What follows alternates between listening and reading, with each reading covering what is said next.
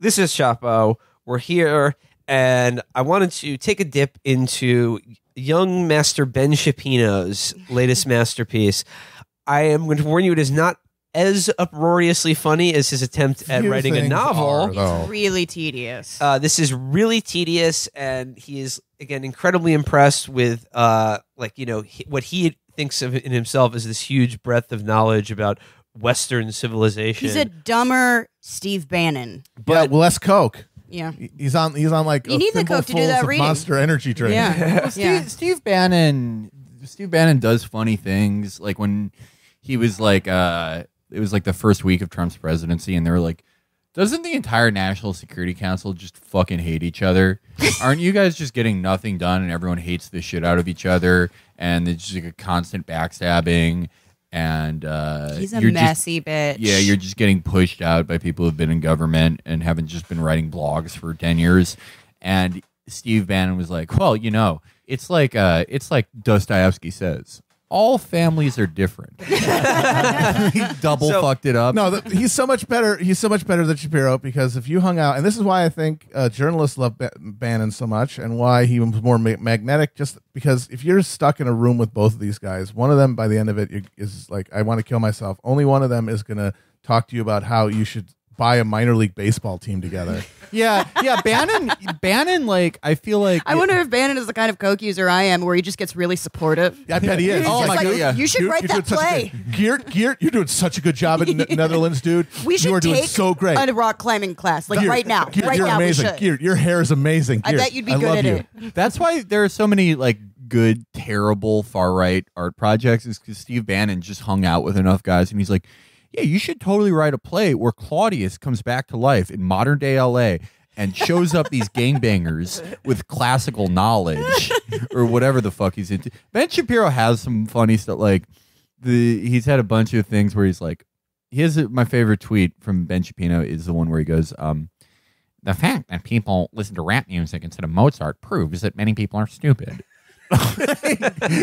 but it just, Gotcha. it just like, do you want to hang out with that guy? No, I don't want to hang out with either of them, but I feel like yeah, you you a higher chance of fun with Bannon. so uh, the the title of Ben Shapino's Also, he makes you feel pretty. The title of Ben Shapino's uh, new book is called The Right Side of History How Reason and Moral Purpose Made the West Great. And this is like uh, the newest entry in a line of these boilerplate fucking conservative dad books about, like, like you said, this like I don't know high school level intro Yeah. to Western civilization, of which the point is like there's a reason America is the greatest country in the world, and it's because of God and rational thought. It's just And he, uh, he is literally uh, a one of those uh, Twitter accounts that just has classical Greek statuary. Like he's that Oh, kind. He's, yeah. he's pivoting into that kind of right winger. Well, But- that's the new that's the new skin they're putting on racism Mhm. because they it's not palatable to be about. But that literally categories. just bit him in the ass. I don't know how he didn't see it coming, just from a self-preservational kind of point of view. It's like when a Schlafly, like you know, smackdown equal rights uh, amendment, and then she really thought she was going to get a, a cabinet position. yeah. yeah. And like Gloria Steinem, who I think is a, a goof and I have a lot of problems with, which She's is the like feds. she, She's the she, feds, she too, is the low feds, key. yeah. But she was like, ah, poor Phyllis, tommed her way right out of a job. Okay, so and then the subhead here and the flap copy just says America has a God-shaped hole in its heart. Argue, Right, what? ar- Hold ar- on. Argues New York me? Times best-selling author Ben Shapiro. Hit me And in we- that and we sh- God-shaped And we hole. shouldn't fill it with Oh. politics and hate. We've Oh, got a boy. big ass hole, and we need to stuff it with God, not Can you- politics can and you- hate. America's please- pussy but I wide just- I- AF. yeah, yeah, can you can you please God my nag hole? America is gaping right But now. I, I just want to say, like, uh, keep, like, I, I, the reason I wanted to talk about this and look at his book this week is, like, again, like the backdrop to this is basically uh, the uh, pogrom that he is beginning to try to inspire both against Ilhan Omar, uh, Muslim Muslims of any kind in this country, and uh, immigrants of any kind. Yeah. So he's trying to say that, like, oh, we've become so divided and hateful, but like, here's let's look at it why. And I, I think it is interesting. Like, the book is, like I said, dog shit and incredibly, Garbaggio. Incredibly unreadable. tedious. It is so bad. But. I think, the, like I said, the pivot and like the um, what he's attempting to pull off here, I think, does speak to a, a certain kind of uh, right wing politics that uh, is trying to be uh, in vogue now. Because I mean, famously about Ben Shapiro, again, he's another one of these very anti-Trump guys who, again, strangely have sort of come around on that They're all- for some know, odd you know what it reason. I yeah. blame the Democrats for not being a reasonable opposition. Exactly. You That's went too far to the left. I we did not read the whole book. I, I I farmed out a few of these chapters. I read uh, the introduction and first chapter, which I think basically tell you everything you need to know. But I'd like to, uh, you know, join join me and us now in, in going through uh, some of this book. And I think I think uh, like it will become apparent what he's trying to do here. So the very first line of the book is, "This book is about two mysteries. The first mystery." Why are things so good? the second mystery, why are we blowing it? And Damn, Matt, why am I so good? what, so, uh, Matt, like you, you said, like his Why am I so thick? his politics is the conservatism of a time of plenty. Yep. And this is essentially what he's uh, is setting up in his introduction is that like this Panglossian view of uh, you know America as like, hey, everything is so great. People have TVs and cars, and like you know, for the most part, you know, food is plentifully available, and like, but why are we so damn depressed? He Like, also why- provides, by the way, extremely faulty uh, information on infant maternal mortality rates. I'll, yeah, I'll get into that. So he goes, uh, in 1900, some 10% of all infants died before reaching their first birthday in the United States. In other countries, the number was far higher. Approximately one in every 100 mothers could expect a giant childbirth. And he's going like, oh, using infant mortality rate as an example of like it's dropped dramatically and like as you did in like the 19th century or whatever. But the thing is like America still our infant mortality rate is dog shit compared to like other first world. it's world dog countries. shit compared to Cuba. yeah. oh yeah, Cuba kicks our ass. He goes, "We live in an America. We live in an era in which the vast majority of the American population lives in climate-controlled spaces with plenty of food, a car, and at least one television. And there's no way any of that will ever end. We can speak with each other across thousands of miles instantaneous, instantaneously, find and collate information with a touch of a few keys, send money seamlessly whirring around the On globe." the information superhighway. and buy products manufactured in dozens of different places for cents on the dollars without leaving our homes. it's like a 50s education. Yeah, and he's going like, like, yeah, exactly. it's exactly. a film strip. I'm Troy McClure. Look at America's vast agricultural yields. Beep. It's fields of barley. Beep. Wheat. Beep. Millet. Yeah, And then he goes on to say, um, there are no restrictions barring particular races or genders from particular jobs. No governmental rules designed to privilege one particular biological or religious in group at the expense of any other out group. What's a biological group? Oh, we know what he means. But uh, I like to say, like, you know, everything's so good in America because, you know, we have these freedoms that, like, there are no laws uh, barring uh, the practice of religion or certain people from holding certain kind of jobs. Uh, unlike what me, Ben Shapiro, has been trying to accomplish in my entire political career, either at the you know National Review or Breitbart, is setting up precisely those religious uh, tests for employment or Yeah. holding office. I mean, there is a good chunk of the GOP base right now that literally thinks that there's like a law that can be enforced that's like uh, if you're a, if you're a Muslim, like you can't hold office in America. yeah, no, there there's some some fucking copy pasta boomer meme going around about how there's some law in the books from the 50s that could be invoked to s- just kick Ilhan Omar out of Congress and then uh, maybe deport her. Now, And they're dude, like, activate the dang 1954 alien laws. I spent a lot of time researching the law, and uh, during the space race, there it was called the Moon Act, and we could not have we could not have any persons or individual style humans who worship the moon, as it were. And Muslimically, they worship the Quran, which is a lunar object. The Quran was ca- cast down by the demon god Muhammad from lunar scenarios to tactically ascertain a Kaaba style cube here on Earth that connects with Muhammad and Allah, the moon, the, the moon prince, as it were. And Ilhan Omar, she will pray to this moon god every day. And due to the stipulations of the 1953 Moon Act, she will be rejected and ejected back to her lunar home. Felix, as, as as you're well aware, one of the uh, one of the first uh, films, the silent one of the first major silent films, is about our war on the Muslimic moon god. The French were very ahead of ahead of the times. They have always had a problem with that. predicting the, the spirit of Charles Martel was alive in that rocket that crashed into Allah's lunar Muslimic eye. So He could not see all the infidels that one day, but of course he repaired it using Islamic magics. So this is uh like I, I want to point out one of the like the, Man. the we we're aware of the Ben Shapiro's style when he's writing fiction, which is to just reuse cliches Oh, God, in the yeah. most Bears of men everywhere. mind-numbing way possible, and then like uh, uh describe the ghetto style chill kid wearing a Bart Simpson T-shirt. Homer says, Simpson T-shirt. Kiss my ass, buddy. And, like- Homer Simpson T-shirt. oh, wait, Homer. It's Simpson. a Homer Simpson T-shirt. He looked at it. I looked. have a Duffman T-shirt. I have Desert Storm Bart. Of I have course. an Italian. I have never. Never I don't seen have a Homer, Homer Simpson shirt T-shirt ever. I collect bootleg Barts, Yeah. and I don't own. It's not a thing, dude. he looked at his beeper. What's up? the Budweiser commercial. Remember that? It said.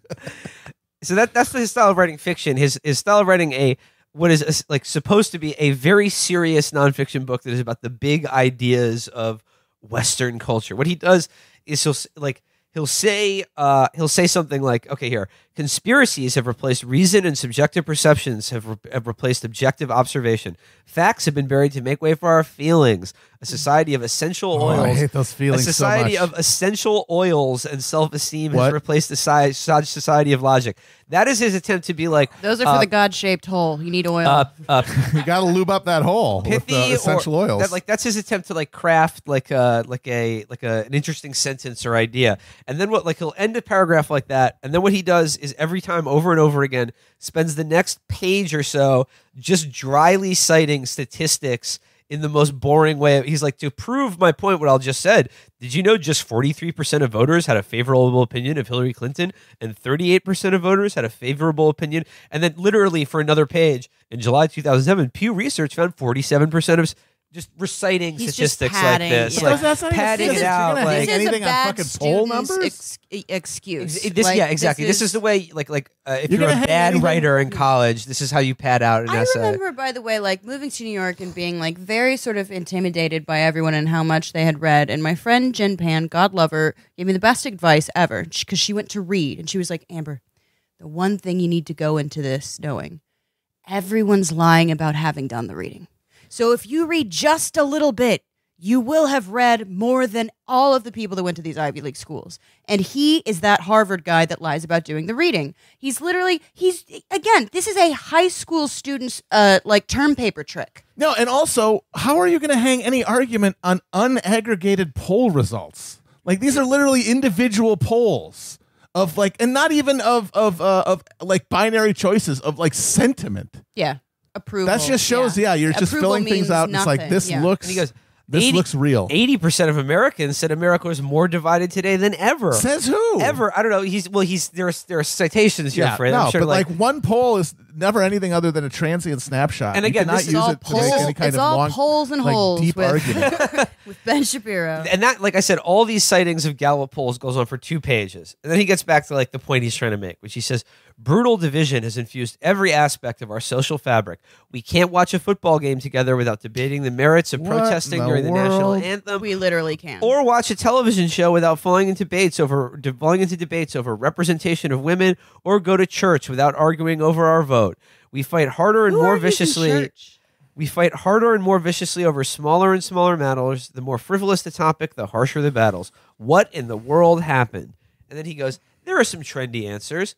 Some blame our current political and social disintegration on heightened economic divides. and then now, and No. he dismisses that right off the bat by saying, um, they say too many Americans feel left behind by the new globalized economy and that either mild protectionism or redistributionism will heal those ills. That's They argue that the 1% has, have outpaced the 99%, that urbanites have outpaced rural Americans, that white collar jobs have outpaced blue collar jobs. And then he says income mobility hasn't changed significantly in the United States since the 1970s. Yeah, Yes, exactly. that's it's what- stultified. you fucking asshole. That's when it all went to shit. Is it like since the 1970s, uh, wages American the wages of the American workers remained totally stagnant Totally in flat. four decades. Flatline for 40. And, and, and, and there's fine. been an accompanying 40 years of increased uh, efficiency. yeah, no huge upsets. That's fine. insane. And Matt, you'll like this. The next paragraph he Or says productivity. exactly productivity has risen as wages have remained stagnant for Yeah. four decades. Theft. And Matt, you'll you'll love this. He goes, "The Great Depression didn't tear us apart the way we're torn apart today, and our economy has indeed grown steadily since 2009." Uh, one of the, maybe one of the reasons it didn't tear us apart is because of Great fucking New Deal, you we had douchebag. yeah. Exactly because uh, of you know uh, like the 'Cause we tried to address WPA it? or yeah exactly. Because we addressed the fucking thing instead of just letting the canker just grow unattended, fucking gangrene to set in. No, I think it's because we filled our hole. We, filled- we- no, we emptied our hole Everyone in the Tennessee Valley got their holes filled up real without good. their without compensation. It Yeah. wasn't yeah, fair. yeah, they did get Uh, and then he off. talks My about family's still mad about Yeah. that. he talks about race, blah blah blah. And which by talking about race, he, he goes he spends about two pages just block quoting Ta-Nehisi Coates. Of course. He wrote this at 3 a.m. right before it was due. Oh yeah, totally. And he goes, In truth, we're more racially equal than ever before in our history, more equal than any other society in human history. Go off, and then he King. goes on with the stats. In 1958, just 4% of Americans approved of black white intermarriage. In 2003, that statistic was 87%. It, that, mm, That's yeah. still a lot of people who don't approve of interracial relationships. 87% approved. In I know, but that's yeah. still a lot who don't. And then you know he he ta- he says like it can't possibly be race because uh, we've solved those racial problems. you I mean, like, I, I think he would find it more convenient to say that it was race, though, because, like, No, because he's not going to fight the race war. He's determined to not actually say the loud, the quiet part loud. Right. He's going to keep it neutral, and and like that. That's the, his whole effort, and that's why he's been superseded by the by the real, you know, uh, stem winding uh, white populace because they're willing to do that, and he will not cross the Rubicon, which means him having to make up all this bullshit. Like no, you have he, to have. he, he, he won't cross the Rubicon now, but like we all know, like he's had numerous comments about like Oh, Trayvon. Martin would be alive he today gets- if he, he wasn't gets- a thug. he gets as close as he can to the edge, but Yeah. he's determined that he's not going to cross it. For now, he could honestly just also, decide, it, fuck it would age him, and his whole thing is that he was like a wunderkind. Yeah. He's like, he still thinks of himself as a 35 year old child prodigy. Oh no, totally, little violin boy. And then he goes, okay, the, a third popular argument suggests our national disintegration suggests technology is the culprit. Social media, we hear, is dividing us more than a. And- and, you know, he- said that why don't they call it a dumb phone? Uh, and he goes on to dismiss that as well. And he goes, finally, there's the most basic argument of all. For whatever reason, human nature has kicked back in. We're naturally tribal, naturally possessive, naturally angry. For a while, we suppressed those instincts. We called it the Enlightenment. Jonah Goldberg, in his masterful Suicide of the West, calls that overthrow of human instinct the miracle. So yeah, you know that's always good. Your your theory should always depend on a literal miracle that you Yeah. even call that. That's Yeah. always a good sign that you've got a really a miracle persuasive that model. saves us from, uh, like, an ultimately hostile human nature that we're mean, hateful creatures. Yeah, so that you turn human history into just this fucking fairy tale. I mean, it's the it's the opposite of dialectics. It's the opposite of materialism. It just says this is a totally just a fairy tale battle between good and evil. You know what it is? It's teleology. Yeah, and it's and it's and it's just nothing but Deus ex machina after Deus ex machina. It's just you're showing it. You're circling the remainder and saying, "Look, I have not solved this fucking equation," and you're just basically daring somebody to point it out. He says, this book argues that Western civilization, including our It's the mo- Western civilization. this book argues that Western civilization, including our modern notions of values and reason and science, was built on deep foundations. And this book argues that we're tossing away what's best about our civilization because we've forgotten that those foundations even exist. So, where did this book come from? It came from my sense, widely reflected, I, I think, that we're tearing each other apart. Lisa. Th- that realization hit me on a precise date, February 25th, 2016. Late in 2015, I'd started a speaking tour on college campuses. Oh, God, of course Heading first, of course, uh, we realized Oh, this when Oh, people were mean to him on college. The entire thesis of this book They're mean to me on college campuses, mommy. was inspired by people being mean to him Oh on, on God! college Of campus. course it was. And he goes, Oh, I'm so tired.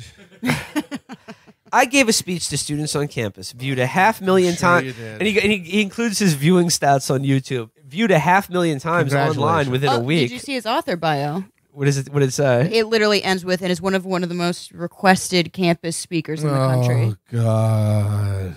And he said, uh, so I, I posited that. all people of good heart want to fight racism, but that vague charges of institutional racism and white privilege obscured individual evil and slandered the country more broadly. I attended the speech without security. Everything went well despite an attempt to pull the fire alarm, and students lined up for a broad questions and answer based session. Really, too. just well, everything went great. Someone tried to pull the fire alarm. Well, here he goes. Just three months later came the rude awakening. I was scheduled to give a speech to the Young Americas Foundation group at California State University at Los Angeles. Two weeks in advance of the speech, we began hearing rumblings about protests. The week before the speech, the president of the university announced the event had been canceled outright. I refused to accede to that clear breach of the First Amendment rights. My taxpayer dollars had gone to the California State University system, and I announced that I would show up anyway. My business partner, Jeremy Boring, I'm not kidding, that's that's I Jeremy bet- Boring, I bet.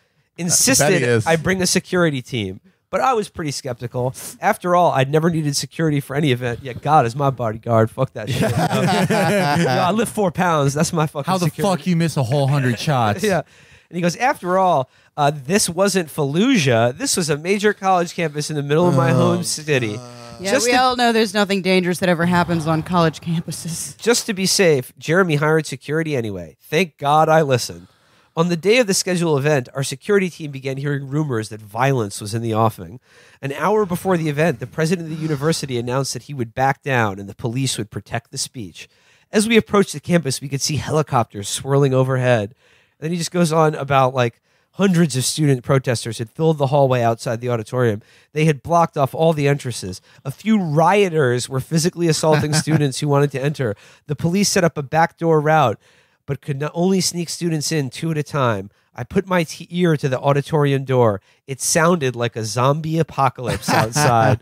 Literally more likely to die in like a random college campus school shooting Yeah. than a You're more likely to, yeah, you're more likely to injure yourself like slipping in the cafeteria. Uh, than- excuse me. I mean, I think you can say yes. There is uh, violence that that befalls campuses. It tends to be from like the weird, National Guard. Yeah, the Pulling National Uh, trigger. Yeah. excuse And it tends to be like weird psychopaths that uh, read too much Breitbart and bring a gun. Excuse me. You are minimizing this. One of these hooligans held Ben at arm's length while Ben futilely tried to strike him. He's held his head. held his head, Head back. back, Yes.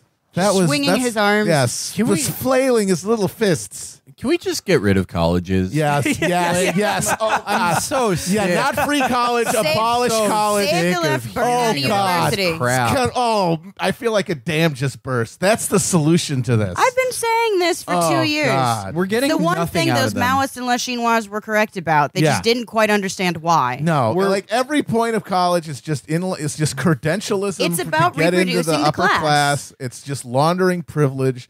Every one of these skills that we need can be accomplished otherwise than this absurd institution. Get the fuck rid of it. It is a daycare. Oh, it is a daycare. It's a pro- it is a propaganda mill. Uh, it's it's just it's a it's an ideological it's just an ideology factory. It sucks. it produces Ben creates, Shapiro's. It creates class traitors, is what it does. Yeah. It manufactures a It million things in, your head It's yeah. I mean, to like launder to turn class solidarity into alienation and Yeah, to like Mark launder the said, the- privilege of the wealthy. the ruling class, uh, like uh, immediately finds representatives from the people it's suppressing and puts them into little positions, and that's the entire. That's how the representation argument, like, Yeah. still serves to reproduce capital. Yeah, just abolish college. Come Yep. on, Bernie. Just No say it. college. Well, I mean, Schools out, motherfuckers. I mean, like, what, so schools been closed forever. so like all like the thing that's funding college, you know, taxes in some cases, and in other cases, it's like uh, you know, like Bob Iger will send his kids there, and so they can do what? So they can become influencers, Yeah. or work for his company. They can do that without college. Yeah. and then the and then the other people. Laura people. Laughlin's going to jail because she got her kid into college, and she now just takes pictures of her fucking tummy tea on Instagram. Yeah, Aunt Becky. First of all, college has ensnared Lori Laughlin, who She was Let's- led astray. She's very. here's cute. come on. Let's see, here's the things about Lori Laughlin. She's pretty and Yeah. she's nice, it. It's and true. she It's great was teeth. ensnared Really by good this teeth. scam that has been going on for hundreds of years, Yeah. known as college. just let your and kid- all- She just got Instagram caught. That was her yeah, crime. and and now like all we hear with college is you know Ben Shapiro tried to talk there and people threw a coconut at him or whatever. I don't care. I don't care. I don't Oh, care about yeah. anything. Nothing, that said- Quote nothing good has co- nothing good has come out of the student movement since civil rights. Yeah, and there's nothing that couldn't. It's not. There's no, and there are advantages in bringing people together and stuff, but I feel like they are outweighed by the disadvantages. Well, specifically, The- the as campuses have become completely isolated from the larger Exactly. communities, it's entirely. It's like, well, we're going to keep you in a tiny little vacuum Right. sealed room, and, it's they're like, like, we're oh, doing politics, you and it's bring like, people no, together- you're renovating the country club. Exactly. Like you bring people together, but just to end up sterilizing their activism Yeah. by keeping it in that Facing inward. totally inward facing and non threatening milieu. Well, Felix, you say like you don't care if someone throws a coconut at Ben Shapiro's head. I don't care. I think they should all do it. I think like there should be no speakers because it's just a scam for the speaker. They're just gonna go there. They're just Yeah. gonna go there and say shit they say in a YouTube video for a quarter of a million oh dollars. God, yeah. So I think like all the like all the right wing students and all the left wing students, they should just have they just like put on armor and joust each other. All of them, so all of them, times. yeah. you get your knight, and you're both on one side, and you're vote, and you're all rooting for your knight, and that's You know how we're no, there should be a referee. There should be a referee. No, you to settle it. You settle it with the uh, with the uh, uh, oh god, the Greek Week uh, contest at the end of Revenge of the Nerds, Okay. where they had to like do the belch And that- they and that to do will the decide- trike, and they had to do the pageant. And that will decide who gets to invite speakers for the next Yes. year. Noam Chomsky or Ben Shapiro. Yes, that's how you do it. Clap your hands, everybody! Everybody, clap your hands. Uh, Chris, edit in the uh, the music they do at Revenge of the Great song. It's a great song. Clap your hands, everybody, and everybody clap your hand. We lambda, lambda, lambda, and oh, make a move. And we've come here on stage tonight to do a show for you. So, uh, you, like you say, rhythm and a Felix, you say you don't care if someone throws a coconut at Ben Shapiro, but I would submit this, you know, in response to that. After uh, the speech was over, I wanted to go out and mingle with the protesters. At which point, my security team and the police pulled me backstage. If you go outside, one of the officers warned me, we can protect you from the first guy who throws a punch, and also the second guy, but not the third guy. Here's here's the thing, Mister Shapino. I cannot count that high. I am not ble- I am not uh, blessed Hanukkah to count. I don't have your skills. I've never reached number three. I I don't speak Rosh Hashanah. uh, Mr. Shapiro, I'm afraid that when E Honda throws his uh, Hadouken at you, we'll be able to block the first and the second strikes, but the third one will be beyond our grasp. I mean, like this is this is proof enough to get rid of college. Yeah. He can't Yeah. even. They're over. It's outlived its over use. two Oh, yeah. punches thrown. Yep. that's So- enough. uh, what Ben is saying in the introduction of this book is that like his entire motivation for writing this incredibly tedious book that's been written a million times before is when he finally realized we're losing what made Western civilization great, but as he calls them, the violent rioters that like uh, made fun of him at college. The urban thugs, yeah. the Uh, hip hop thugs. Here's here's my favorite part though. He goes, uh, during the election cycle, I was highly critical of both candidates. As a conservative, I'd been a lifelong critic of Hillary Clinton, but I was also highly critical of Donald Trump. Thanks to my criticisms of Trump, and thanks to my very public break with Breitbart News, an outlet I believed had become a propaganda tool for the Trump campaign, I quickly found myself targeted by a new breed of radical. In late March, the exorable Milo, Milo Yiannopoulos mm-hmm. penned a story at Breitbart openly praising the alt right, including odes to racist cretins like Richard Spencer. I'm sorry, like the difference in my mind between Richard Spencer and Ben Shapiro is nil. My- like uh, Ben likes uh, Jews and Richard Spencer doesn't. No, that's it. well, actually, no. I would argue Actually, this. Ben, Ben, Richard Spence- Spencer likes Jews too. well, he Yeah, likes yeah, them but as he long as they're in likes them when they're Israel. there. Because- no, but yeah. that's the thing is that they're the only real split in the right. The only real split in the right is what do you do with the Jews?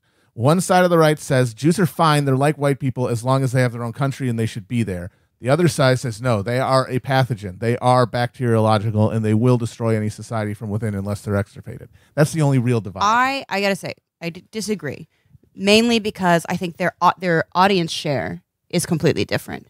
So Ben Shapiro is trying to get college Republican nerds, like the the the Republicans that don't scare him, and Richard Spencer was trying to get like these downwardly mobile lumpins, and that didn't work because they quickly realized that he is also a fancy lad. and a college Republican nerd. Yeah, yeah, exactly. A college Republican nerd that like got a haircut I mean, like, or whatever. So it's all about who they are trying to sort of triangulate their audience to. I think they're, yeah, I think they're aiming for different segments of Yeah. the population, Different but, market But their personality and beliefs are. I would need a jeweler's loupe to uh, Yeah, tell yeah. tell the difference. So he goes, uh, egging on his alt right followers, cheering on their jolly trollery. Milo sent me a picture of a black baby on the day of my son's birth that May. The point being that I was a cuck. He is Owned. a cuck. That's his whole No, that's that's that's being a cuck is the degree to which you won't cross the fucking line, and he won't do it. He's defined his whole thing by not doing it. So he is the definitive cuck. So here's where he gets into. Um, uh, he's d- reaching back into history f- to give you a uh, a history of thought.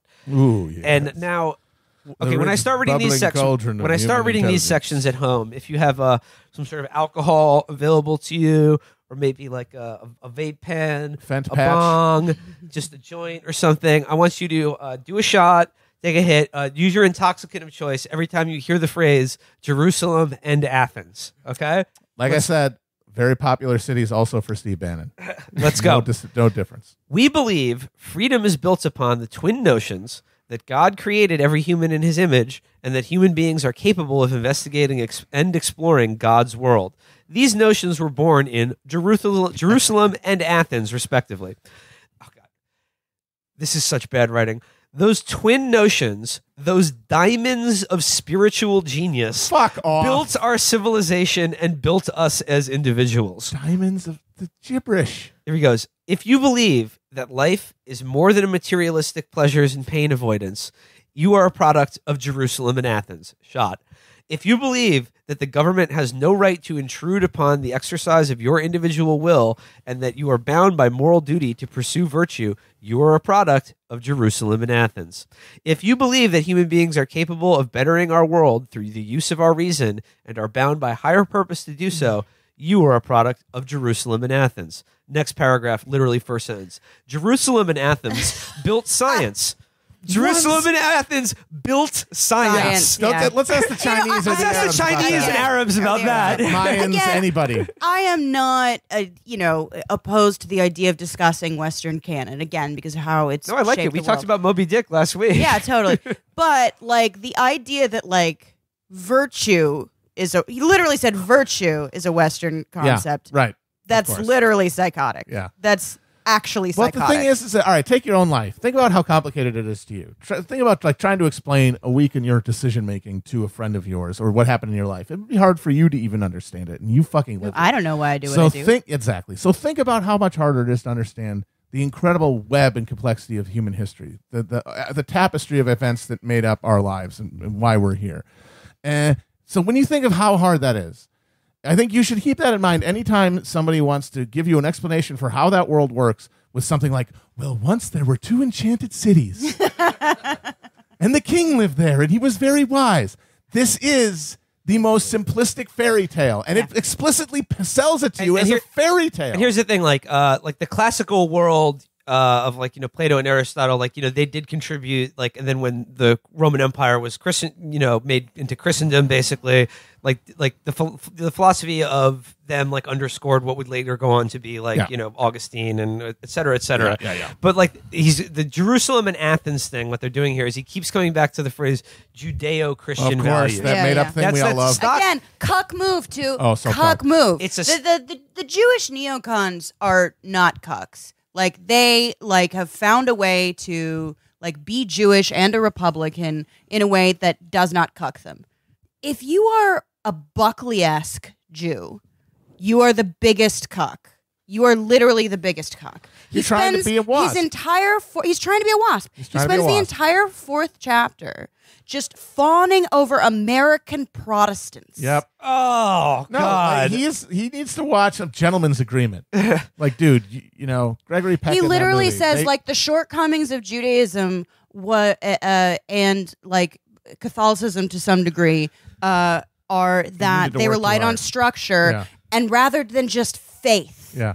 rather than just the idea of just you know religious ecstasy hitting you in the face Yeah. like they they Well, he said- he picks said the that's what it- literal worst parts Yeah, but he said that that's the thing that made it s- s- uh, spread faster. And the thing is, well, that's not that doesn't tell you it's better. It just Yeah, it's more, it's gonorrhea more spreads viral. fast. Exactly, viral spreads. Syphilis spreads really fast. Like that doesn't make it good just because it was more effective at spreading the pathogen of Christianity. But the, uh, the the point I want to make is in, he, he uses Jerusalem and Athens over and over again because he wants to harp on this the, the Judeo-Christian, which as we've t- Yeah. mentioned before on the show, is just, idea he, that was he invent- wants back in the country it's an idea so that was invented out of whole cloth pretty much in the 1980s Oh, yeah. to just do a patch on the software update of evangelical christians Yep. Yeah. so that they could like they could be like It's oh like we love israel, Israel, state of israel Boop. and they're like oh yeah now oh Jude, oh we're we're the heirs to the judeo-christian uh, And heritage the funny and part is, values. is now that's that's they don't need that anymore because now they're fully on board with well, we need them there for the rest. People rapture. forget too. we need them there like for the end of the world. there were like serious Catholic anti-Semites Oh, in time. like up as like kind of Westbrook into the early Pegler. '90s. Oh, yeah, like and it was just Pegler fine. and It's shit. very recent that we're like we have to tone that down. Yeah, yeah. Like, but they've moved the Overton window back, and Oh, he's yeah. really shocked by it. When Yeah. it wasn't that long ago, when Uh, you could just James be an Burnham open anti-Semite. Anti-Semitic. So here he goes. He goes, uh, Jerusalem and Athens built science. That's one sentence. The twin ideals of Judeo Christian values and Greek natural law reasoning built human rights. They built prosperity, peace, and artistic beauty, which again, heretofore did not exist in uh, No anywhere in the planet. yeah. Uh, Jerusalem and Athens built America, ended slavery, defeated the Nazis and the communists, lifted billions from poverty, and gave billions spiritual purpose. Okay, I'm going to go through those. The sort of foggy, like the mystification that's going on here with history, where he's like, it's all this unbroken chain leading to right now our most perfect of all worlds, which is based on Greek natural law. I'm sorry, all of that classic fifth century Athens shit that we all love and so much. They love the hell out of slavery. Not a They- rule. they- they- that's really why It's foundational to the whole that's project. why they had all the free time But to fucking be, you know, thinking about just caves think and about shit. bullshit. Yeah. Yeah. But also, like, we literally regressed from that anyway into Western society, into we we innovated slavery into chattel slavery, which is literally worse than the Oh, way worse. Slavery. Yeah. and, and and it was by refining it that we were able to supercharge capitalism. And Yeah, capitalism, and just accelerate through to like, developing the nation. capitalism is the nitro booster in the engine of, of or I mean slavery was the nitro booster in the engine of capitalism. It catalyzed it. It pushed in so much raw material and, and, and liquefied the markets to such a degree that it made capital accumulation so much faster and it exacerbated technological innovation. It was the fuel in the fucking rocket sled of capitalism, slavery. It made it possible. Jerusalem and Athens drank were the foundations of the Magna Carta and Love the it. and Love the Treaty of Carta. Westphalia. Oh, I love they it. were the foundations of the Declaration of Independence. Big Independence. fan of the Treaty, Treaty of Westphalia. He gets my dick so oh, hard. I the Treaty it. of Westphalia. Abraham- I prefer the Treaty of Windphalia, but what are you going to do? Abraham- Win- no, West. Windphalia. Wait a minute, West. Yeah, win. Yeah, win, not fail. Win. This is, No. Well, this is a you- where wins treaty. Now you guys got you guys got to see how the sausage get made. Yeah. man. Sometimes you have a problem. Yeah. Okay. Declaration of Independence. Abraham Lincoln's Emancipation a- Proclamation. This is a, a And- three toke episode, by the way. Martin Luther King's letter Of from course. Birmingham jail. So Si- just everything you barely remember from junior high history. Okay, so uh, I, in the previous sentence, he uh, in the previous paragraph he said Jerusalem and Athens defeated uh, the Nazis. In the next sentence, he says, in the next paragraph, he says civilizations that rejected Jerusalem and Athens shot. Marx beat the, beat the And Nazis. the, and the tension between them have collapsed into dust. The USSR rejected Judeo-Christian values And they Greek natural law, substituting the values of collective, the collective, and a new utopian vision of social justice. And they starved and slaughtered tens of millions of human beings. And like I said, uh, also defeated the Nazis in World Yeah. War II. The Like, Nazis. I don't understand. Like he comes to these great things. He does mention Marx. He completely doesn't understand Marx at all. But if you're going to say, if you're going to attribute the wins of societies created by thinkers, then Marx beat the Nazis. yeah, absolutely. Yeah, he got those turnip farmers to get their shit together. oh, they got their Yeah. shit together. We are in the process of abandoning Judeo Christian values Oh, and no. Greek natural law, Oh, no. favoring moral subjectivism and the rule of passion. The funny thing about Greek natural law is that, like, natural law is what's always cited by, like, Yeah. weirdo Catholic reactionaries Yeah, to, yeah. like, as their justification for why sodomy is, like, always a sin and Yeah. wrong. Ironically, though, You know who also the invented Greeks. sodomy? They love Athens. It. They love that shit. Their natural law did not. Their natural law was uh, towels optional. I think their natural law said that it was okay as long as you just held their thighs together. Oh right, yeah, you had to Yeah. frottage them. You couldn't Yeah. go in. Yeah. yeah. Interesting. Yeah. See, there, It was- doesn't yeah, have that anything was- about that in this book. that was that was coined by the Greek philosopher Sisyphus. But just think in this very small example, how much is lost in his retelling of these things, and how Yeah, much exactly. he simplifies Yeah. it into a cartoon that bears no relationship to reality. And he goes, oh, and we are watching our civilization collapse into age old tribalism, individualistic hedonism, and moral subjectivism. Make no mistake, we are still living off the prosperity of the world built by. What are those two cities again? Jerusalem, and baby. Athens. But see, this is perfect in that it ex- totally exemplifies how it's a fairy tale because given the way he describes the miracle of of Athens and Jer- Jerusalem, they that should be uninterrupted glory and uh, and uh, improvement until the end time. It should be an unspoken string of development. Like it's the perfect, it's the best system. Therefore, it's going to persist. Well, why did we abandon it? Exactly, and the answer is evil wizards. And it is. It's it's just totally ide- idealistic horseshit about like this evil wizard named Marx cast a spell, and this other evil wizard named Martin Luther came down, Right. and that those people bewitched people's minds into uh, going for going back to their their awful human. and Matt, Right. uh, the ways. actually the and now we live under Toronto and Gainesville. it's tragic. It's been terrible for society. as you said about the wizards, the vast majority of this book is him taking his reader, who again, like Ben Shapiro, as dumb as he is, I will give him credit for knowing how stupid his fans Oh, are. yeah. the respect he has for his fans is summed Utter up contempt. in the fact that he sells them caffeine pills for Uh, seventy yeah, that's dollars a bottle. If anybody is hawking survival seeds or or or miracle brain tonics to you, that means they don't give a shit about your intellect. In fact, they're betting on you being a dumbass because they wouldn't sell any. So what otherwise. the- Ben Shapiro Ben Shapiro's fans are either like the most bullied kids in their schools or like college sophomores who are all named Dylan. Yeah. Who like uh like drink two two natty shandies and are like last night was savage. That's and just exactly wa- what it's and like. just watch like Ben Shapiro owning trans people cringe comp. No, but man, you said like uh, like that. Uh, the magical cities gave us the winning formula Yep. that was winning for we got eternity. the key that went into the Yeah, magic rock. and then like and then the evil wizards like turned us away from it. The vast majority of this book, which thank dear Christ, I'm not going to read to you on the Oh, show. no. The vast majority of like the middle chapters of the entire book is him going through. Uh, and giving you this high school freshman history of the Enlightenment and its major thinkers, and telling you which ones were good and which ones are bad. Yeah. and he's like John Locke, good. Rousseau, bad. Bad. And well, the reason they're good that, at, again, his readers like they just want the footnotes. yeah. and the reason that one is good and the other's bad is one is liberal, the other's a conservative. Yep. But no, but one is a liberal and conservative based entirely on su- subjective definitions of what liberal and conservative means in 21st Oh century God, America. he so is, is historical. Just absolute contempt for any kind of historical context for anything. Everything is evaluated from 21st century, conser- just superficial conservative uh, uh, uh, array. Like that's it. You know. Oh yeah, it's, yeah, it's awful. the ties that bind us together are fraying. Those ties were forged through fire and water, reason and prayer. Game of Thrones, baby. Tonight, I'm so fucking psyched. Gambo's gonna get that throne, baby. He's Gambo throne for a reason. Forged through fire and water. Forged through fire and water. reason and prayer. Again, he's a terrible writer. Just awful.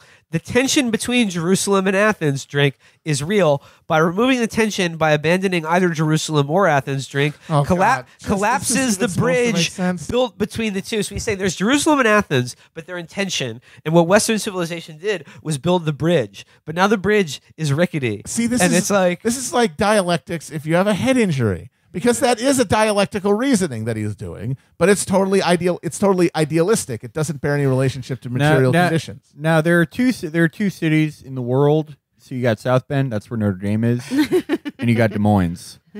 Now my brother lives in South Bend, and we haven't we haven't talked in a while. But in in Des Moines, uh, there's a Culver's that's open till twelve, but they're very far away. And when the interstate is crowded, that's when things get rough. This is just like this is just a boring guy talking Yeah. about geography. This is just Yeah. no- this Boring, is- confused this guy. is this is This sucks, man. This is nothing. to quote So- Hannibal this is Buress. he absolutely can't make nothing. he can't even really make up his mind about anything. Like he has like these semi-positive but conflicted views of like the way Christianity developed and its role in society. He doesn't. He's he wrote a book so that dumb people can feel smart because they can refer to Hume. Yeah, How- exactly. how many- Absolutely. how many- Ah, as Hobbes would say. How many pages did he stretch out of this? Oh, not that man. long, I don't It's think. not he, that he, long. He stretched the No, whole. he's not. He's not going to he give took you a that tome. whole and Let me- he let me- stretched hold on, let it. me How- I wouldn't be surprised if it's less than It's 300 two pages. hundred and eighty-eight I knew it. pages. That's Yeah. still, 300 no, that's pages. still am- That's that's still insanely um, long. No. amazing. It's long for what he has. Which Oh, is it's long for what he has, but in terms of his pretensions, it's hilarious because that's well, a there are booklet. there are wide margins. that's a booklet for dullards. he widened the that's a thing to read on the crapper. And then Also- you come out going, ah, now that was Uh, what- that was quite a Lockean dump I took. Sorry, uh, what? Like, uh, uh, just two quick points I want to make. Like, he says that line, and it's on the jacket copy to his book. Civilizations that rejected Jerusalem and Athens have collapsed into dust. Again, where does China f- or, or India fit into this equation? Yeah, they had a hell. China had a hell They've of had, a had a, up. As they've had a say. pretty good run. Yeah, even by his own metrics. And like, forget the you know communist Be careful who you're mean to in high school. yeah. But like you know China has existed almost. Well, that's because like there's no. These things are. What he's done is he's taken all the good things that people like and said these are these are exemplified by a, a, a, a, a cast of characters who are embody their good qualities. All the bad things are embodied in these people who are a cast of characters who embody their bad qualities, and then they just have it's it's like it's literally recreating Olympian fucking mythology because now they're fighting on Mount Olympus. Uh, uh, for the soul of humanity, See, and we I have nothing to say about it. I thought it was more like the animatronic Hall of Presidents. Also, that you know, it's all you always like have to have an just array you of hear a little, yeah, and they kind of like move mechanically, Yep. and you come out of being like, was that educational? Yeah.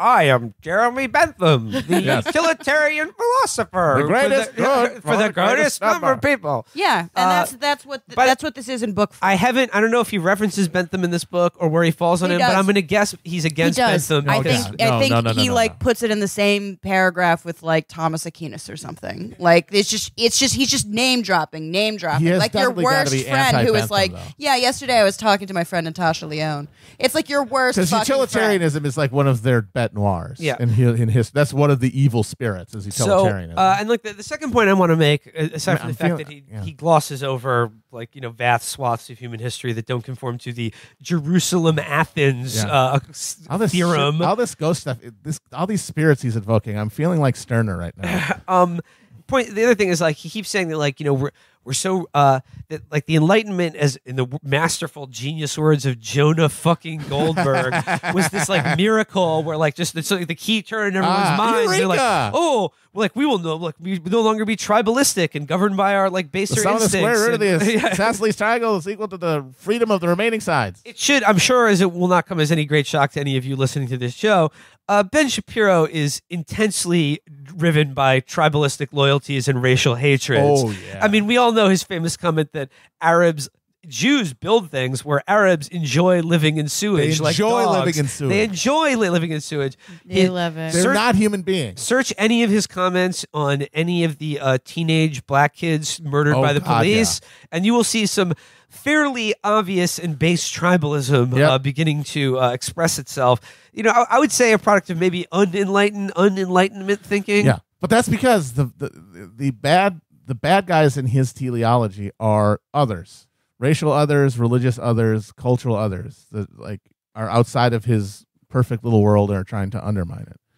For people on the left, uh, like the, the the things fucking up places are are the actual people who benefit from the way things are.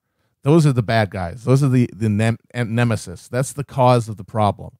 That's the person that you have to deal with. Is the person whose material benefit is things staying as bad as they are and getting worse. And that's the difference between the left and right in terms of how you view like what the cause of social decay and and problems are. And and we say no, it's the people benefiting from it, not the people in most cases who have the least amount of actual power in the society. Those are the people who he thinks are most responsible for its decline. So I'm not going to do all of chapter one, but this is the one I read, and it's called "The Pursuit of Happiness," and it's all about what makes people happy.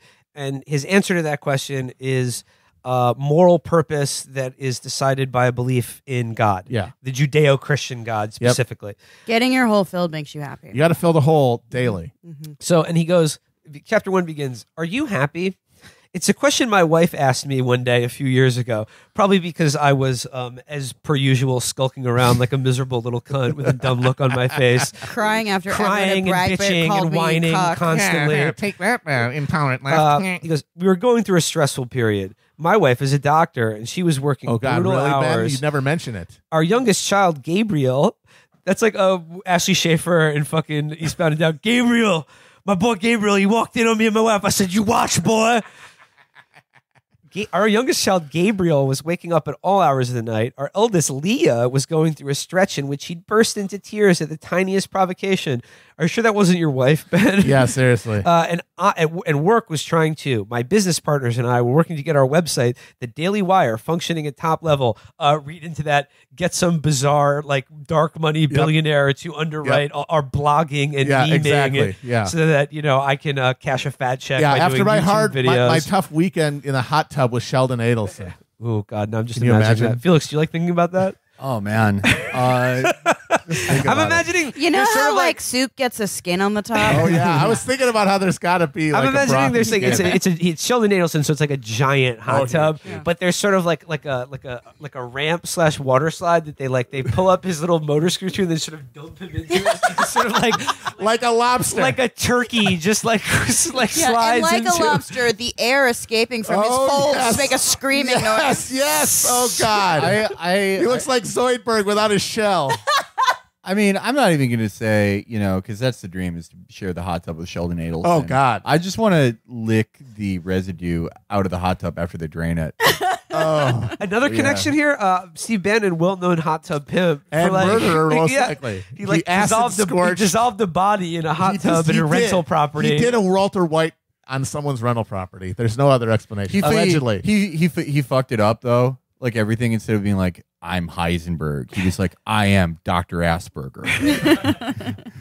So he, he goes on to talk a lot about the pursuit of happiness and the phrase the pursuit of happiness, as we know. And he's like, ah, we say it's the pursuit of happiness. People think government can give you happiness through health care or a basic, basic Yeah. standard of living. Basic, but that, fundamental but, but you would be order. wrong. Uh, the thing I want to point out again in this chapter and how utterly lazy and ahistorical he is in this um, invocation that, like, you know, uh, progress cannot exist without uh, virtue, and virtue cannot exist without our inha- inherent moral reasoning, which cannot exist without uh, the Judeo-Christian, the God of Abraham. Of course. right?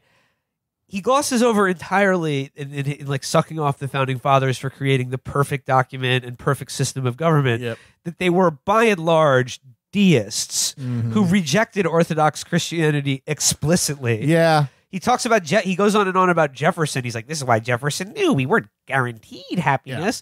But again, mentions nothing about Jefferson. Literally was so full of himself that he, he did his own remix to the He Bible. did. He cut out the miracles. he cut out the miracles of the Bible. and it was, it was just the, the moral teachings of Jesus Yep. of Nazareth is what he called Get it. all that hogwash out of there. Mm. That is an alpha. That is definitely a pimp move. You gotta admit it. in this sub in this That is that is literally the equivalent of like translating the Bible into Klingon. Or, or it's like those that guy who made the, Such a the nerd return the the Last Jedi without any women in it.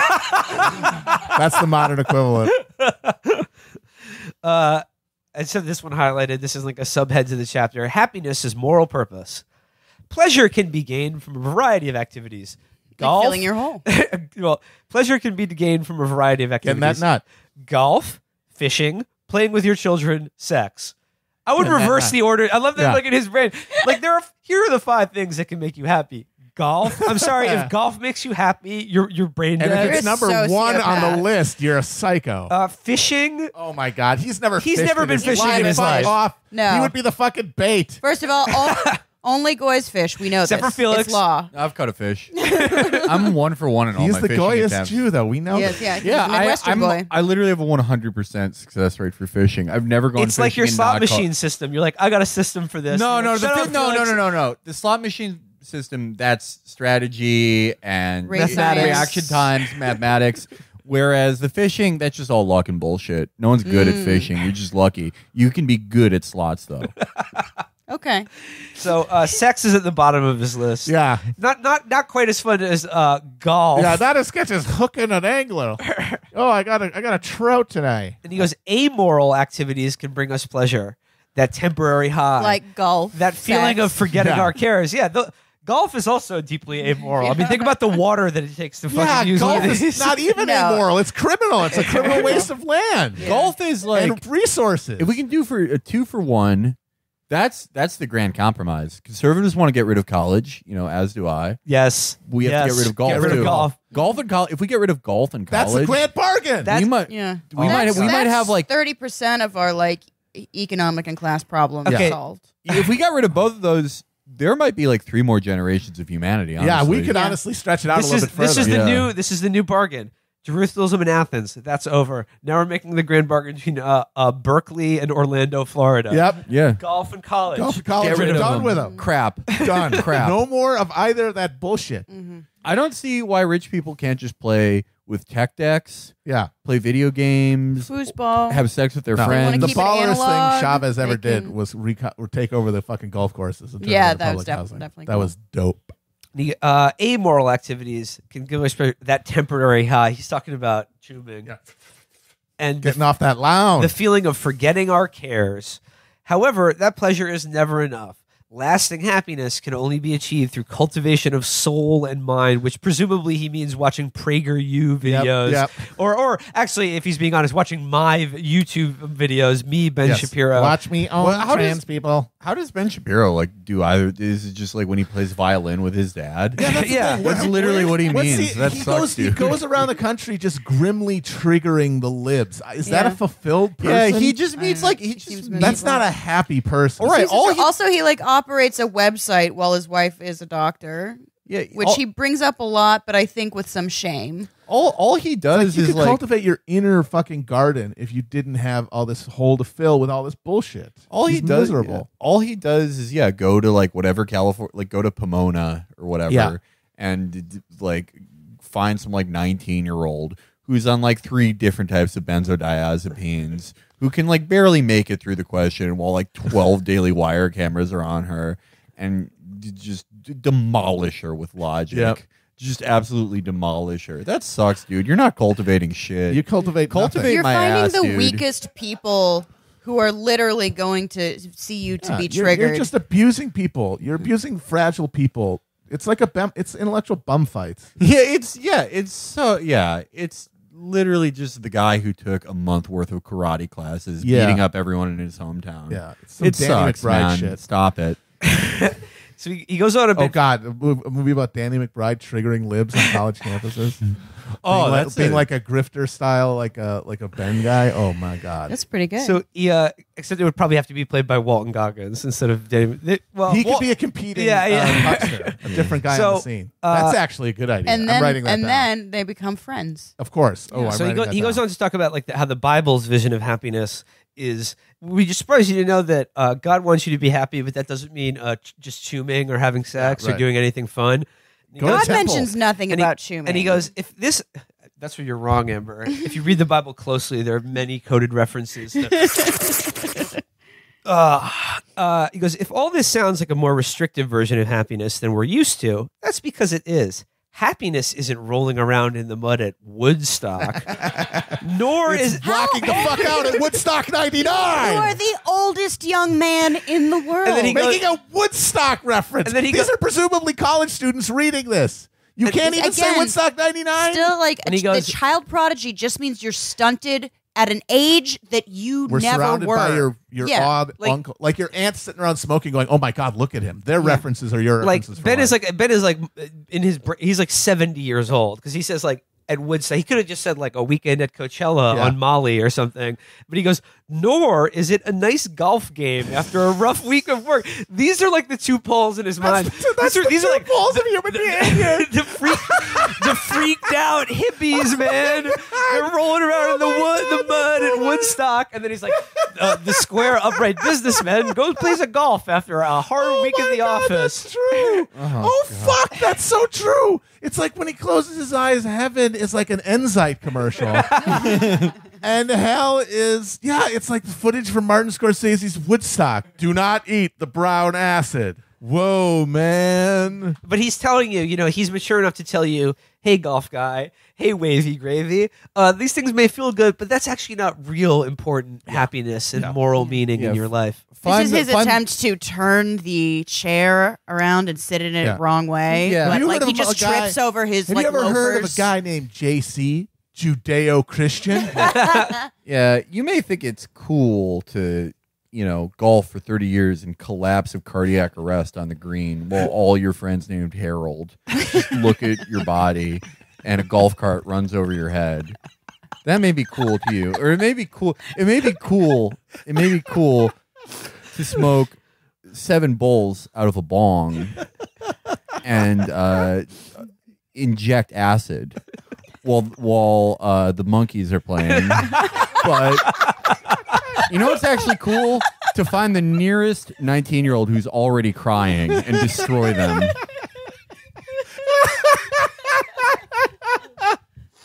oh my god.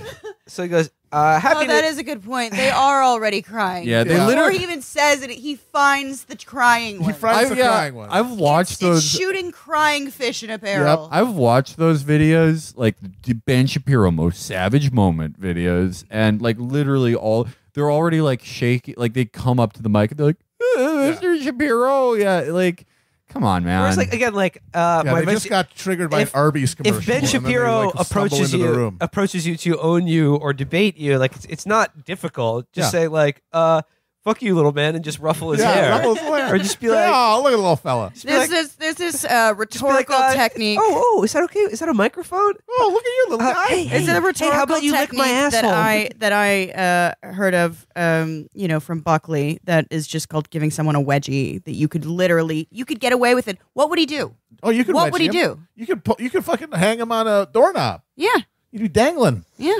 kicking his little feet, kicking his little feet. in kicking air. at the clouds. So he Oh, says- little guy. Uh, you know, happiness is not uh, it's not a golf game, and it's not Woodstock. It's the pursuit of purpose in our lives. Oh, damn. If we have lived with moral purpose, even death becomes less painful. Here's one of my favorite parts. When Washington Post columnist Charles Krauthammer knew that his death was imminent, Oh. he uh, I'm just I'm sorry, I'm just smiling a little to myself, think, thinking back on That's the right, moment when, bitch is dead. the moment in which his conscious brain knew that his own death was imminent. Wait, hold on a was so second. Let me just say. Okay, um I, I just, he's just, this is like an insult to Viktor Frankl. Oh yeah. This he is ma- he such name an- checks Dude, he Frankl. name checks Viktor Frankl. This is and- such an assault on Victor Frank. Like the guy who is a fucking who like lived through the Holocaust and just basically invented this amazing new way of thinking and wrote this seminal work. And just Ben Shapiro is like, yeah, I go to uh, I go to college campuses and find people with uh, badly dyed hair and argue with them. I'm the same as you. Like it just But he goes- very. It's just very. It, it's hurtful to me. More than anything, you love to see it. well, I do love to see it. He wrote an ant- a letter in anticipation of his passing. Here's what that great souled man wrote. Uh, I believe that the pursuit of truth and right ideas through honest debate and rigorous argument is a noble undertaking. I leave this life with no regrets. wow. I, I, Uh, well, the- not a well, one well, regret. wait, wait, one maybe- regret. One regret. Don't dive in that Don't swimming dive pool. in the pool.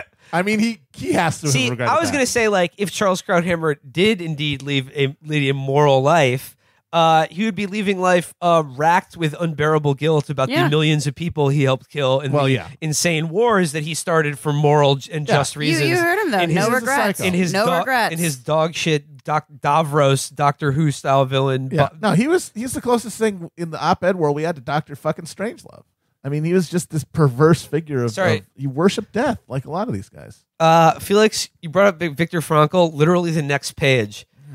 As Austrian psychiatrist Viktor Frankl There he wrote is. in his There's the stirring guy. memoir about surviving the Holocaust, Man's Search for Meaning, woe to him who saw no more sense in his life, no aim, no purpose, and therefore no point in carrying on. Viktor Frankl would just euthanize you. Frankl's Like if he talked to you and you told him, you're like, yeah, uh, golf is one way to live your life. Another way to live your life is to play violin with your dad. Frankl would just like, he would just like furrow his brow and look at his notes and just write, you know, euthanize immediately. He's not getting better. He's never finding purpose. Sometimes death is kinder. Yeah, I I, like mean, you- you- he's got a fucking he's got he's got a chapter about like the meaning of life, and then, then there's a guy who wrote a book, literally, man's search for meaning. I mean, he's just running up the flag. It's just I'm just giving you the signifiers. What would you expect in a chapter about that? Man's search for meaning.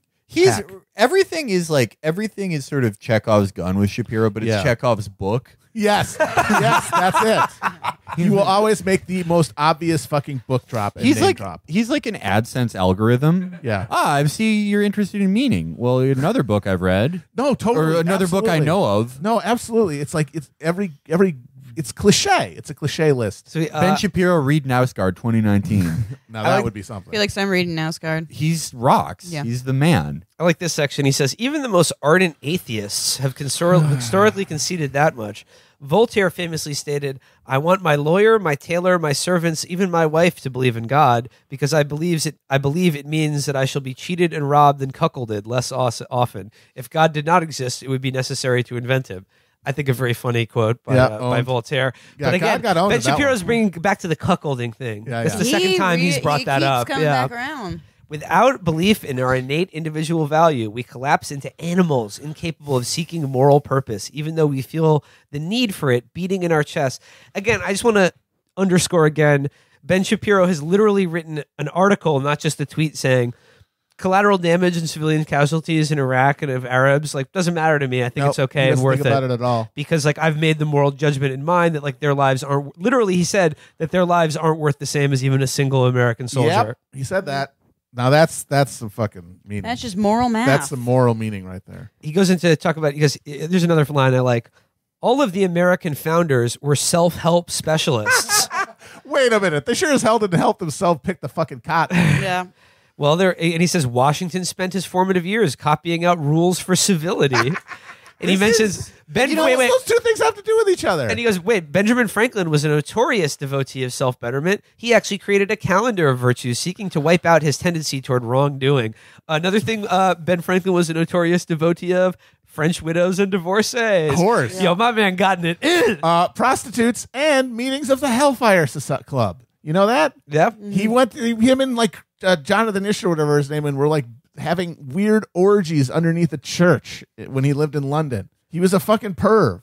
Everyone in charge has always done that. Yes, Pizzagate of course. is real. They just have, you know, mislocated the, you know, the Yeah. the centrality of These it. would guys, love it's like all the good things these guys did in his mind can all be defined by their essential virtues. Everything bad they did is just oops, a mistake or something. Or yeah, it's an aberration, and not the actual man. reflection He get- of. You get to pick which one counts. He gets Yeah. to pick which part, uh, which aspect of their character and their behavior counts. I would love to have an orgy in the 18th century. Oh, God. I bet that you smelled amazing. I bet the smells Oh, the, would be the wafting amazing. smell. Oh man, I would love to get the lead. corsets. I would, lo- I would love to get lead uh, poisoning from my maiden's yes. makeup. Oh yeah. That would I love Be so I love wearing a condom made out of a lobster shell. Removing all those smegma covered lacy collars. Oh, a lacy collar right around.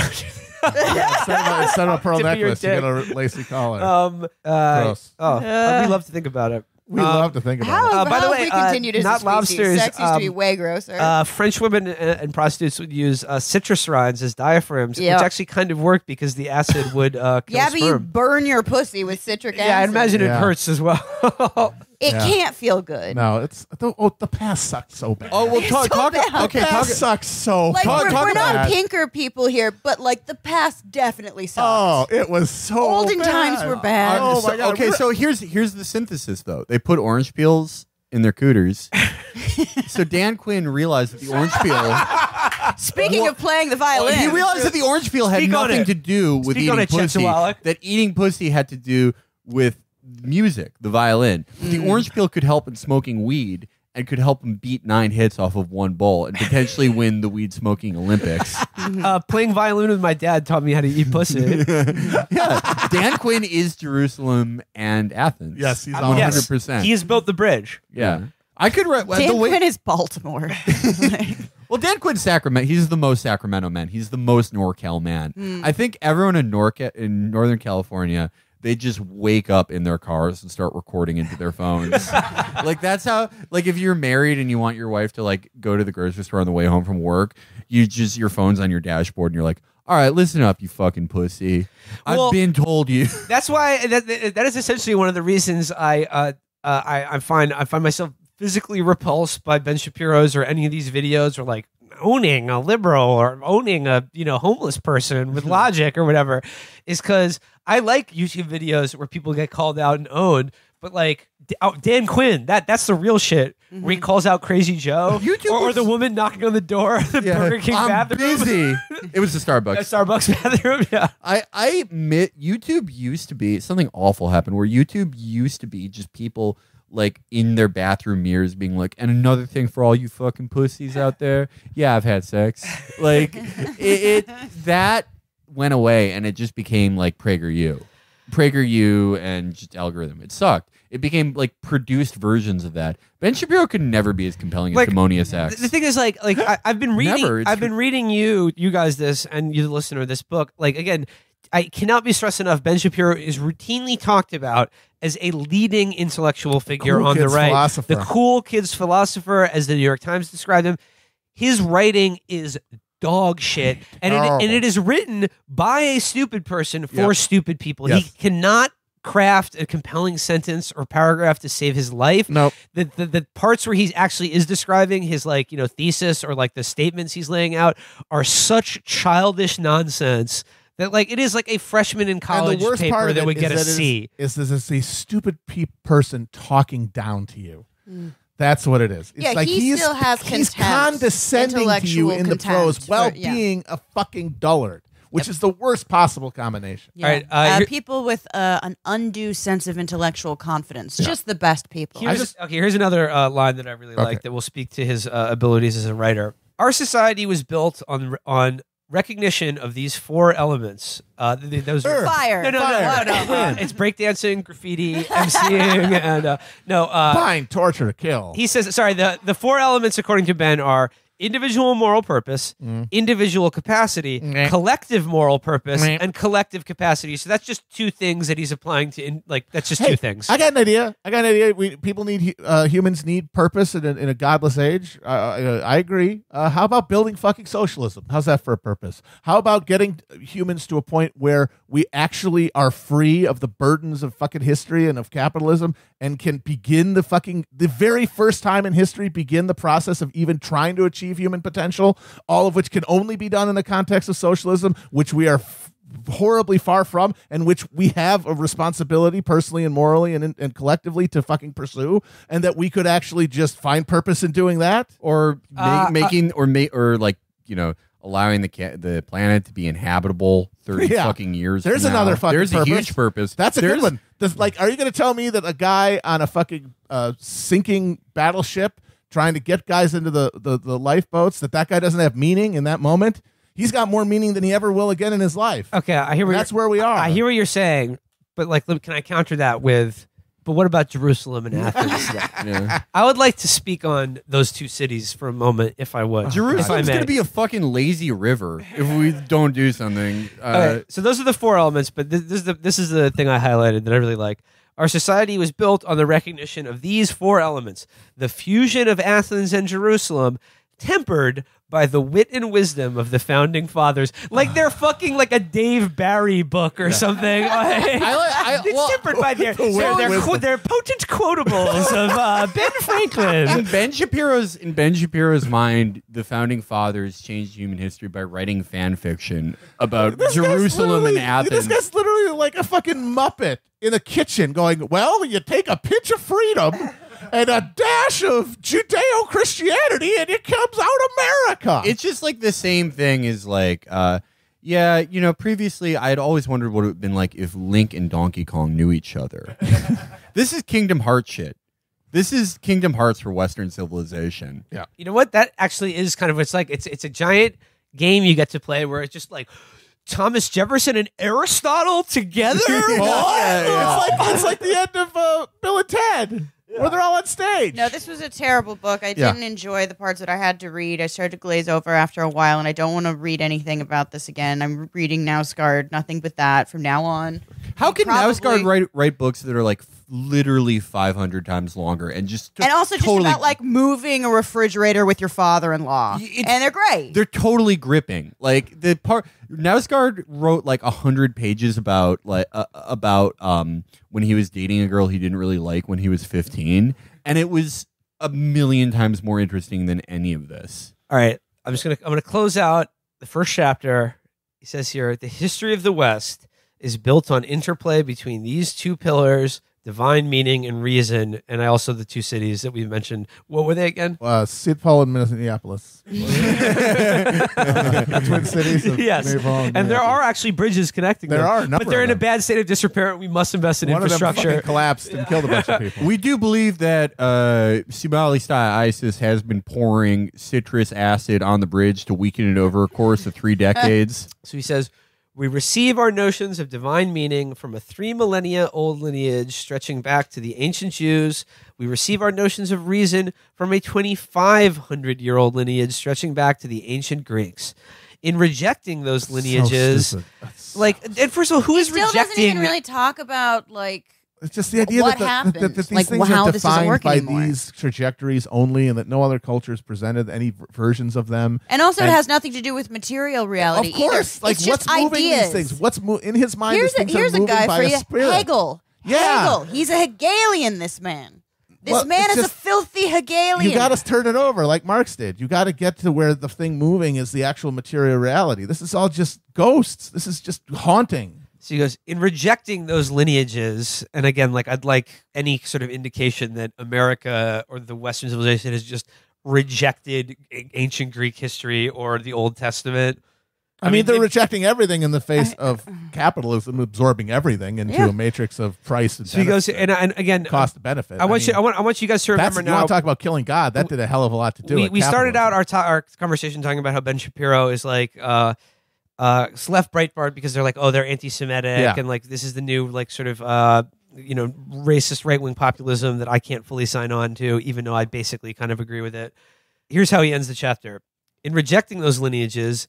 In seeking to graft ourselves to rootless philosophical movements of Root- the moment, hate those rootless cutting ourselves off from our own roots, we have damned ourselves to an existential wandering. We have become the Damn. rootless cosmopolitan wandering Jews, and we must make our way back to our roots. Holy no shit! I'm one of the good ones Yeah, this kind of shit. That's the most anti-Semitic thing I've ever heard. He's a cuck. That- how you can't get more cuck than a fucking he's anti-Semitic trying to Jew. suck up to anti-Semites Holy now. shit! That's So- astounding. I know we've uh, we've gone along with this one and probably driven uh, definitely driven you guys crazy by reading this to you. yeah and, no we've um, lost our minds Uh, I just want to say, you know, uh, Matt, did you- Uh, you- any any other things The you one, read? the one I, the one that always takes my eye is when he- is the potted history of America going from you know of reconciling the Constitution with slavery and, and Indian destruction, and how you make the the founders these you know paragons of human virtue when they were doing all this horrible stuff, and of course it's like just classic Whig history, which is the literal opposite of the dialectical materialism, where it's all just ideas and everything getting better over time and just pulled magically along. Okay, so ladies and gentlemen, that is Ben Shapino. Those are the two cities that make the one city. We built this city on rock and roll. bu- yeah, it's rock and roll. um, so, but before we leave you today, we have some uh, some exciting uh, tour dates um, Mhm. and things to plug. Plug so, time. starting with, we will be doing a show Friday, April 26th at Cornell University for their Union Days 2019, closing out their sort of it's like a week long uh, event about you know unions and labor. We are doing a show at Cornell University on Friday, April 26th. Can't wait to check out the gorgeous. oh so many gorgeous Uh, we uh, tickets are available. We will put the link to that in the show description. Mm-hmm. As we mentioned before, shortly thereafter, that May first, we will be doing a uh, fundraiser show at night. Very of, excited about a this. night of Chapo pub quiz Yes. at Housing Works in Brooklyn on May first. Uh, again, links for that will be. we will all be writing categories, and uh, Felix, I know things are probably going to change between now and then, but do you could you give anybody an example of where your head is at, maybe where they might get your questions from? I just wake up every day. I'm like, I'm gonna get nutty with it today. So, uh, if you you want to get nice, you want to get nutty, you want to learn about whatever I care about that day. it might be the romance of the Three Kingdoms. It might be it might be new wave cinema. It. I may get really into Tears for Fears. I've already done that one, but uh, I don't know. I don't know. Look, a philosopher named Ben Shapiro once said that pleasure is not found in the golf course or or in the opium den. In the boardroom or the discoteca? It's found just jumping from interest to interest every week uh, until you no longer have to be alone with your own thoughts. Yeah, that is the whole goal. Whatever one I land on, then that's what you're getting. Good luck, folks. Okay. wait. You you won't you won't you won't get a single one, pussies. You fucking suck. Don't worry, I'm just trying to fire them up for whatever category I pick.